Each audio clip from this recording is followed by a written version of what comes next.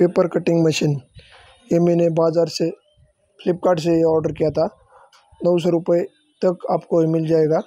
इससे आप आपकी मोटर का जो पेपर है अंदर का, सब कुछ, सब मोटर का जो पेपर है, ये टिल्लू मोटर हो गया, ये पान डब्बी मोटर हो, इसके अंदर का जो पेपर है, पाँच नंबर का, सात नंबर का, सब कुछ पेपर आप मोटर वाइंडर इसका इस्तेमाल करके फास्ट पेपर कटिंग कर सकते हैं।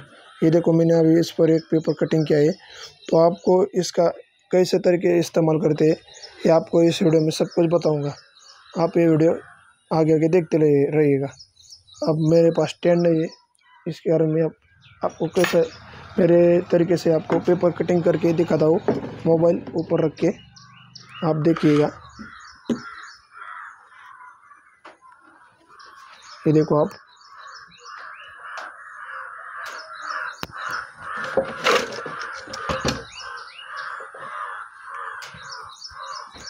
ये मेरा माइक।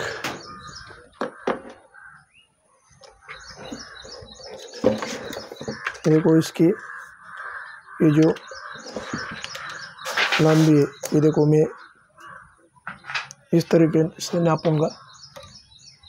इसकी हाइट इस हाइट पर मैं लॉक करूँगा।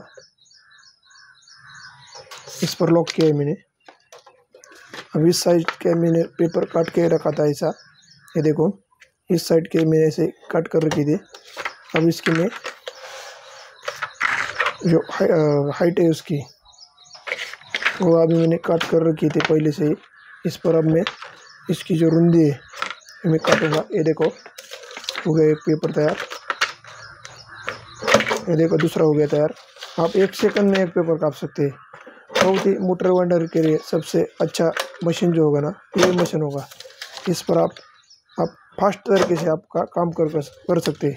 ये देखो दोस्तों, आप इस पर 20 मिनट 15 मिनट आप लगाते, आपको कई बार बहुत सारे कस्टमर होते हैं, इसके कारण आप पेपर फास्ट काट नहीं सकते। आपको चालू काम, हाथ का छोड़कर दूसरे काम पर जाना पड़ता है। आप ऐसे फास्ट तरीके से पेपर काटेंगे तो आपका काम भी फास्ट हो जाएगा। ये देखो मैंने इसके बाद फ्लिपकार्ट से ऑर्डर किया था। मैंने इस पर अभी ये देखो, इस मोटर का सब पेपर काट कर रखा है। अब मैं इस पर ये पेपर डालूँगा इसके अंदर ये मोटर के अंदर। या पाँच, छः, सात नंबर का पेपर है। इस, ऐसा मशीन आपको लेना है तो आप फ्लिपकार्ट से मंगवा लीजिएगा। ये देखो पेपर कटिंग मशीन है। तो ऐसे वीडियो देखने के लिए हमारा चैनल सब्सक्राइब कीजिएगा। तो मिलते हैं अगली वीडियो में।